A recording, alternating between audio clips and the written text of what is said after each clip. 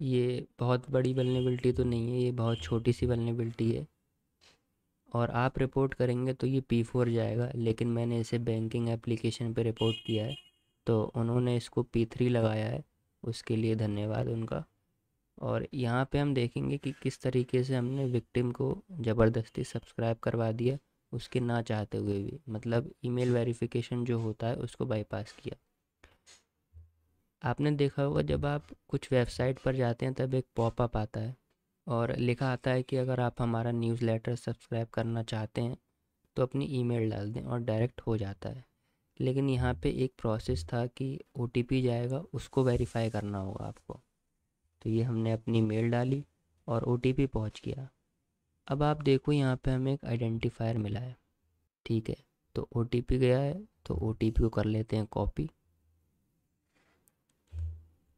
अब जो अगली रिक्वेस्ट गई है हमारी, वहाँ पे हमने अपना ओटीपी डाल दिया और आइडेंटिफायर ये है।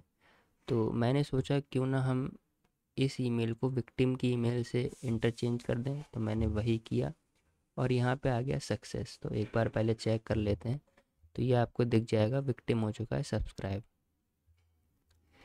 ये जो रिक्वेस्ट है, ये वो मेन रिक्वेस्ट है क्रिएट सब्सक्राइबर डिटेल्स इसका मतलब यहाँ पे जो मेल होगी वो सब्सक्राइब हो जाएगी।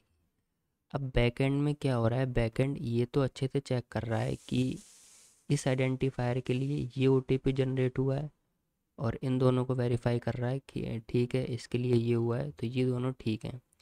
लेकिन बैकएंड ये चेक करना भूल गया, क्या ये वही ईमेल है जिसके लिए ये आइडेंटिफायर जनरेट हुआ था पहली रिक्वेस्ट में?